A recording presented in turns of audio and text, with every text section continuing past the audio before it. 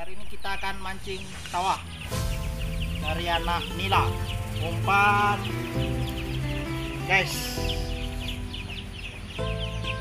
Kating. Spot di belakang rumah, guys. Nih. Kita tes. Apakah ada ikannya?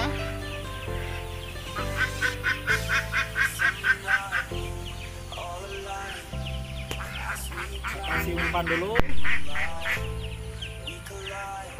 Nih. Guys.